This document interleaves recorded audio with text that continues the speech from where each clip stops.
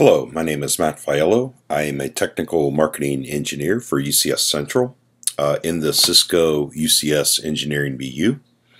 And I'd like to take the next uh, 15 20 minutes and discuss a concept of VLAN ID aliasing, which is a capability within UCS Central. We have clients uh, that are using VLAN ID aliasing uh, in their infrastructures, but I'd like to go ahead and create a training VOD here to expose this capability to more clients in the field. Uh, it's a great capability, and I think it's going to uh, uh allow you to uh, more efficiently uh, set up your infrastructure within UCS Central. The reason for using VLAN ID aliasing is to actually decrease the amount of service profile templates that you might need in your infrastructure.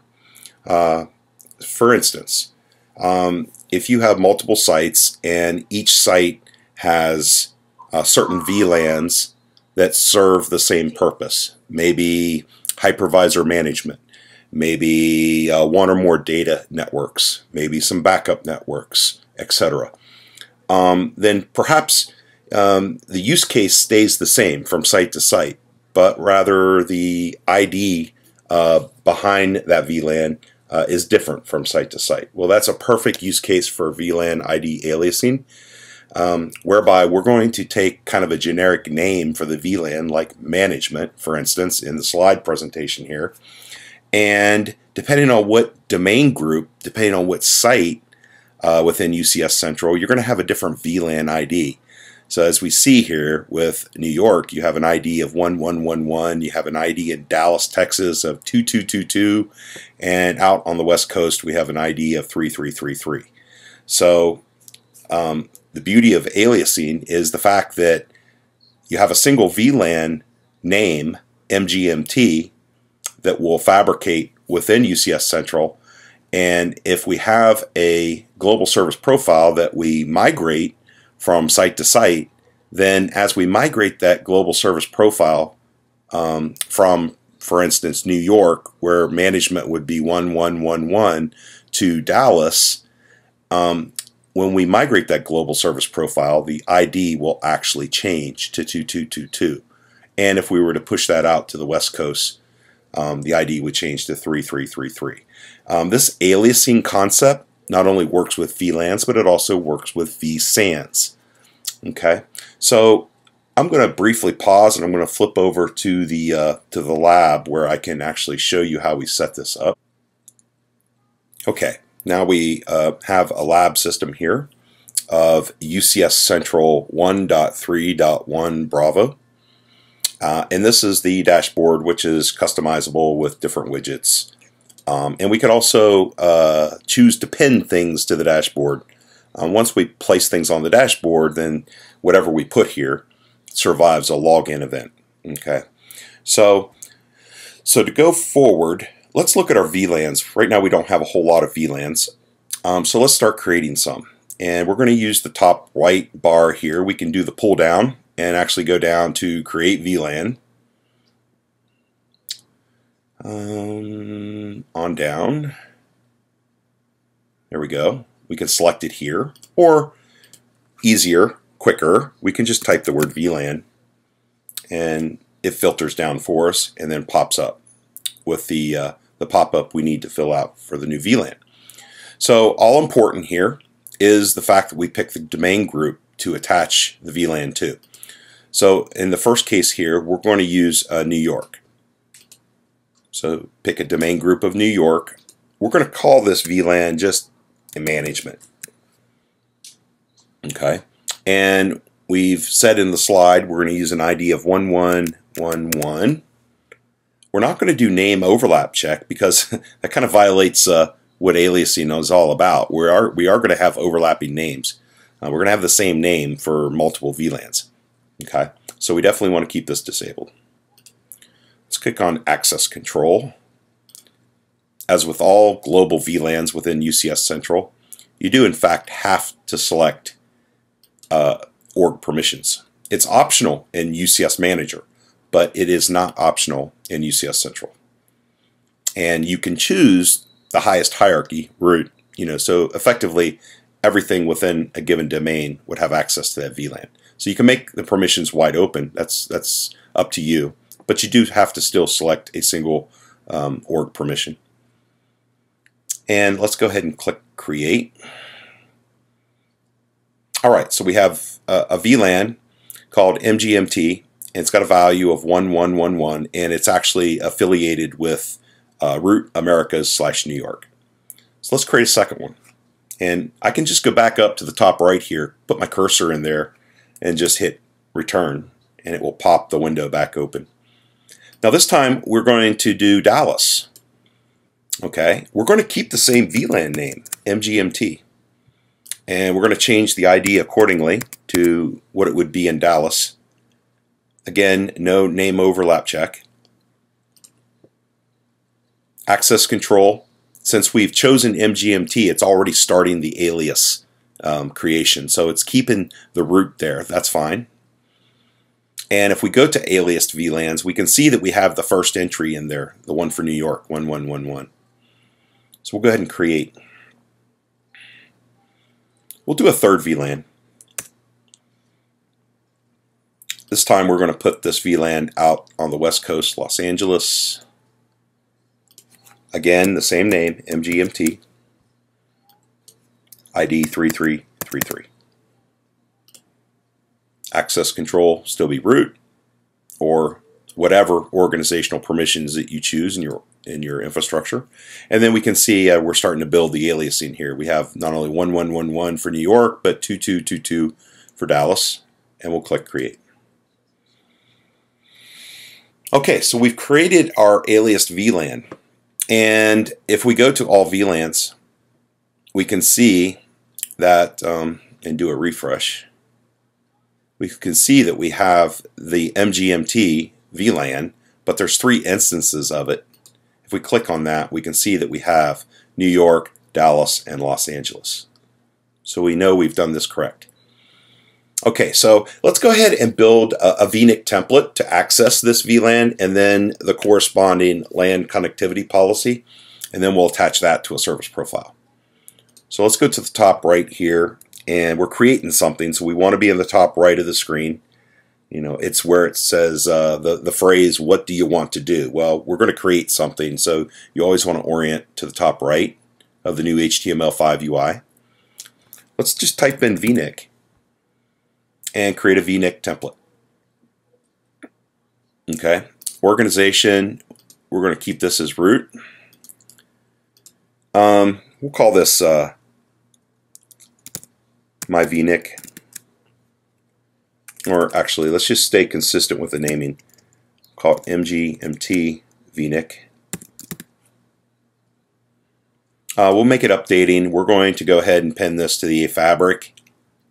Uh, we're not worried about fabric failover uh, as far as UCS uh, managed fabric failover.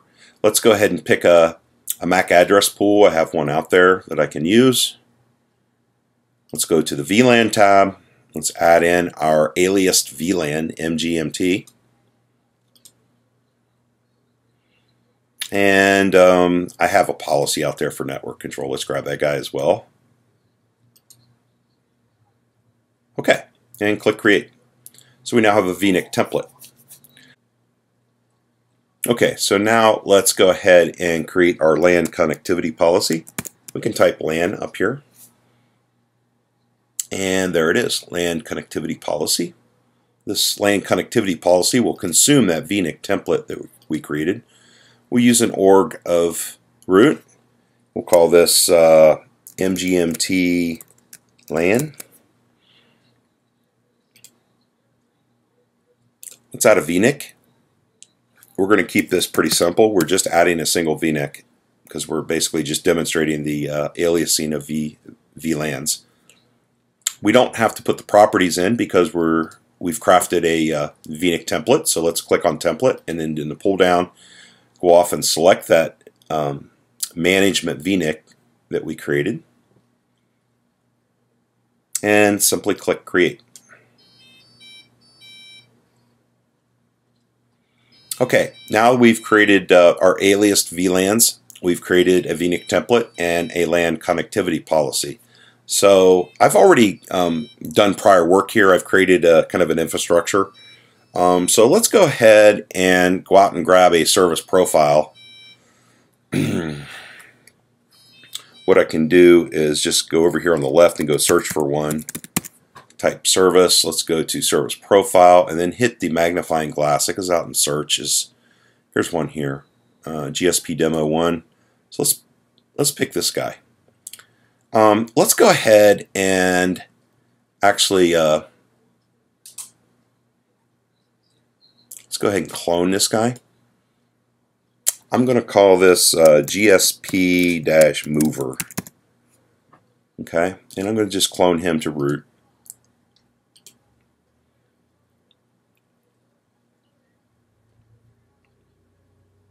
Okay, so we've cloned our service profile, but we also have this service profile uh, already associated with a template, an updating template. And if you go to the connectivity policy, um, it's going to reflect what's been built in that global service profile template. So this is a different uh, architecture here. We don't want that. Okay, so let's do this. Let's go and unbind this global service profile, GSP mover, from the template.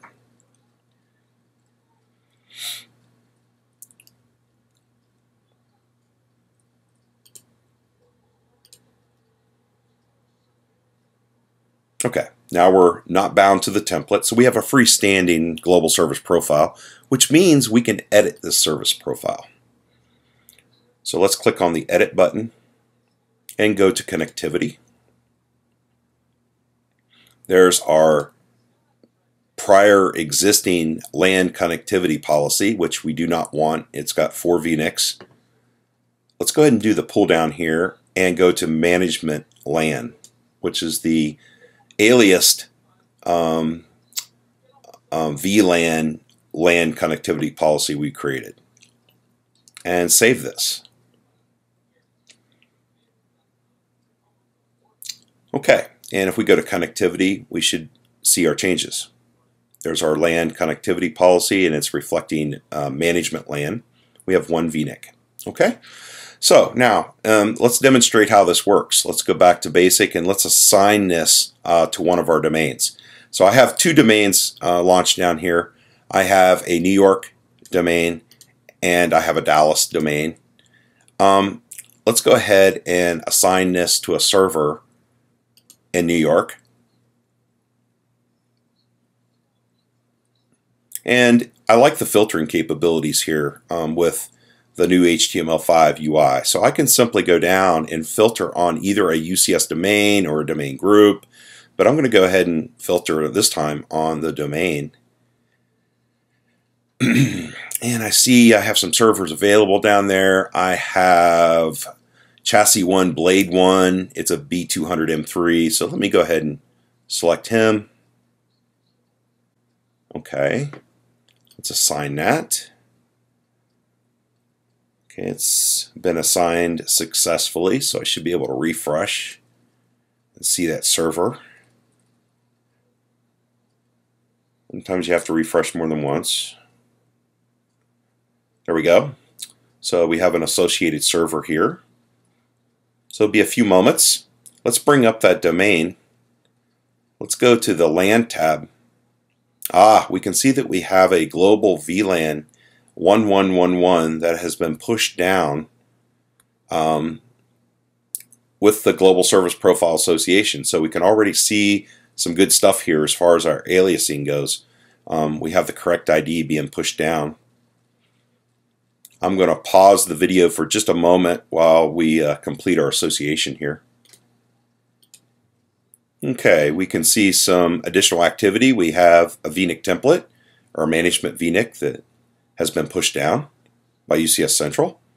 And again, these are all shadow objects. The real objects actually live in UCS Central, but copies called shadow objects um, get pushed down to the appropriate domain. Let's go over to the servers tab. Uh, we can see our GSP mover service profile um, is in fact uh, being pushed down. It's associating. So the best place to watch that is the FSM tab and I'll pause while this completes. Okay, we have uh, a successful association. It completed 100%. Let's go over here to our GSP mover. We can expand out that global service profile, expand out the VNIC, VNIC 0, and take a look at that management VLAN. And we can see um, certainly that uh, it's consuming uh, the ID of 1111. Okay, so that, that has uh, worked. So let's go ahead and go back to UCS Central. Let's refresh. Uh, we should see all green. Okay, okay green for the GSP mover service profile. Let's go ahead and take it away from that New York um, UCS domain. Let's unassign it.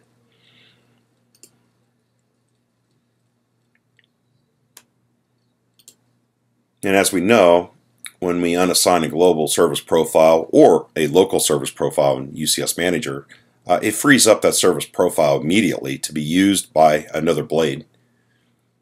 Okay, so let's turn around and go ahead and assign this again.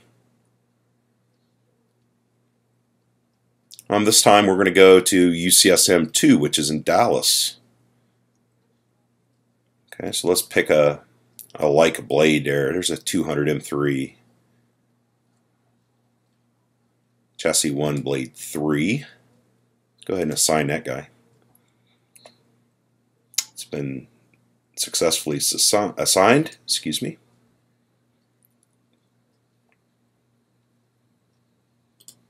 Let's refresh the screen. Okay, so we see an association is taking place. Let's go ahead and bring up that domain. Uh, we've already got another global service profile already pushed down to that particular uh, UCS domain, UCSM2, but let's go to the LAN tab Ah, we see our management VLAN 2222 has been pushed down. That's good. Now these uh, VNIC templates here are for another service profile. So I'm going to pause recording while the association completes. Okay, we have some additional shadow objects getting pushed down. We actually have the uh, management VNIC, uh, VNIC template actually get pushed down. Um, so that's good. Let's go over to our servers tab. Ah, we see GSP mover has been pushed down. It is in configuration status. It's associating. I'll pause the video until this completes. Okay, so we have 100% uh, on our status, successful association. Okay, so let's go over to GSP Mover, uh, which is now down on USM uh, UCSM 2, which is in Dallas. Um, let's go look at our VNIC, VNIC 0, and let's look at our VLAN, and we can see, uh, in fact, that ID 2222 has been pushed down to um, to this particular uh, UCS domain. So, so this is this is an example of using VLAN aliasing with UCS Central. And um, as you can see, um, we ha we have a single service profile, which could have been a single global service profile template um, attached to that global service profile, and we can we can leverage that across multiple sites. Um, so if you have VLANs out there that have the same um, can have the same name, same functionality from site to site, but yet have different IDs on the back end at your different sites, then certainly um, please consider using VLAN ID aliasing. And with that, uh, I thank you for your time, and I hope you learned something.